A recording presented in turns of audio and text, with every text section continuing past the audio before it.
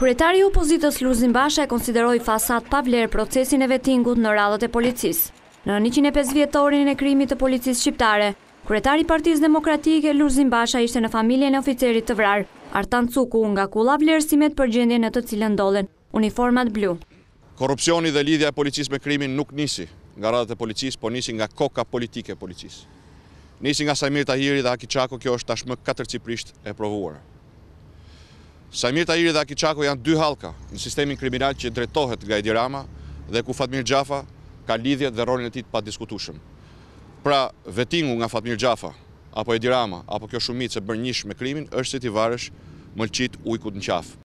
Sipas kryetarit të PD-së, Policia e Shtetit sot është e tradhtuar nga politika, që Basha thotë se ka aleancë me krimin. Shqipëria është në këtë gjendje, sepse Policia e Shtetit i është dorëzuar nga politika, nga pushteti i korruptuar i Edi Ramës, i Saimir Tahirit dhe i drejtuesve të tjerë politikë të kësaj aleance me krimin, krimit dhe veprimtarisë kriminale.